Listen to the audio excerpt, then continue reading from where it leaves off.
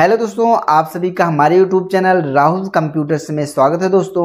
आज की इस वीडियो में हम बात करने वाले हैं पैन कार्ड को आधार कार्ड से कैसे लिंक करना है, उसका क्या प्रोसेस है, सारा प्रोसेस हम इस वीडियो में बताएँगे।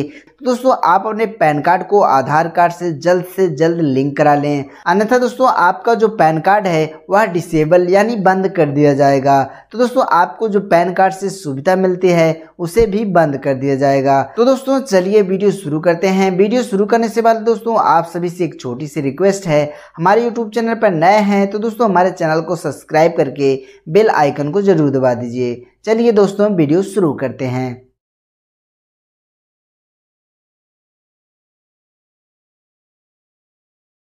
तो दोस्तों, आप अपने ब्राउज़र में ई फिलिंग टाइप करके सर्च कर दीजिएगा। उसके बाद दोस्तों फ़र्स्ट लिंक जो है, उसे ओपन कर लीजिएगा।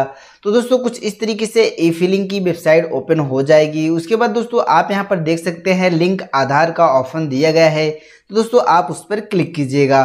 तो दोस्तों, कुछ इस तरीके से नेक्स्ट स्टेप आपका ओपन हो जाएगा। तो दोस्तों, आप यहाँ पर देख सकते हैं पैन नंबर और आधार नंबर का ऑप्शन दिया गया है।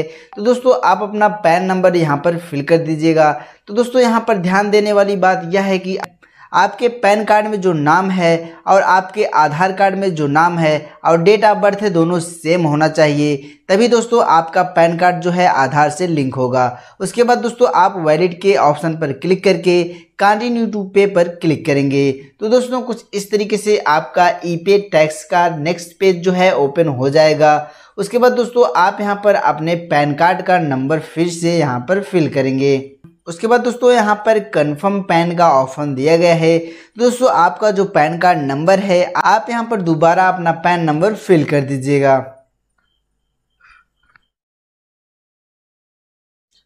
उसके बाद दोस्तों, आप यहाँ पर देख सकते हैं मोबाइल नंबर का ऑप्शन दिया गया है। तो दोस्तों, आपके पास जो भी मोबाइल नंबर है, आप उस मोबाइल नंबर को यहाँ पर फिल कर दीजिएगा।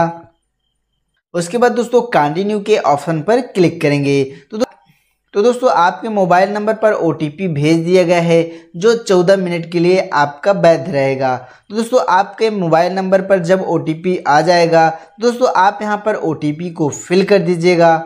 उसके बाद दोस्तों कंटिन्यू के ऑप्शन पर क्लिक कर देंगे। आपका पैन नंबर और नाम जो है मैच हो जाएगा। उसके बाद दोस्तों, आप यहाँ पर कंटिन्यू के ऑप्शन पर क्लिक कर दीजिएगा। तो दोस्तों, यहाँ पर तीन ऑप्शन दिया गया है। तो दोस्तों, आपको यहाँ पर फ़र्स्ट वाले ऑप्शन को चूज़ कर लेना है। असाइनमेंट ईयर जो है, आप यहाँ पर चूज़ कर लीजिएगा। अदर्स रिसीव चूज़ करके कंटिन्यू पर क्लिक कर दीजिएगा। तो दोस्तों, आप यहाँ पर देख सकते हैं, आपको यहाँ पर एक हज़ार पे करना है। तो दोस्तों, आप यहाँ पर कंटिन्यू के ऑप्शन पर क्लिक करके आप जिस भी बैंक से अपना पेमेंट करना चाहते हैं, उस बैंक को आप यहाँ पर सिलेक्ट कर लेंगे।